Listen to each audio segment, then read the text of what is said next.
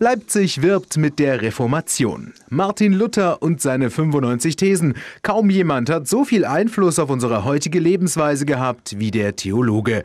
Und 2017 jährt sich der Thesenanschlag bereits zum 500. Mal.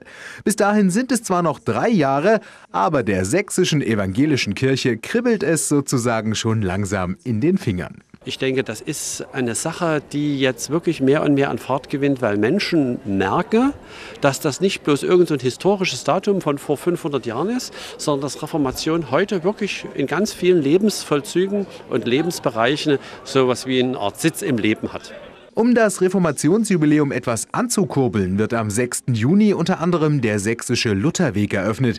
Auf 500 Kilometern Länge können 26 Stationen besucht werden, an denen der Reformator gewirkt, gelebt oder genossen hat. Die Strecke geht von Torgau über Leisnig und Oschatz runter nach Zwickau und von dort über Borna und Leipzig wieder zum Ausgangspunkt zurück. Natürlich können die Lutherpilger auch ihren eigenen Anfangspunkt wählen, zum Beispiel Leipzig, denn unsere Stadt hat es dem damaligen Katholikenschreck regelrecht angetan.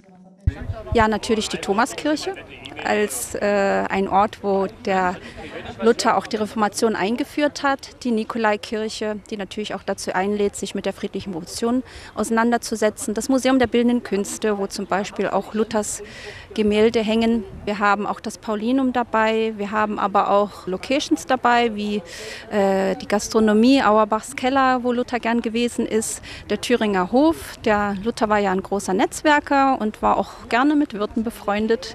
Und das so schön, dass das auch davon noch zeugt. Der Leipziger Lutherweg wird übrigens schon am 25. Mai eröffnet. Und gut einen Monat später steigen in der Stadt auch der Landeskirchentag und das Deutsche Evangelische Chorfest.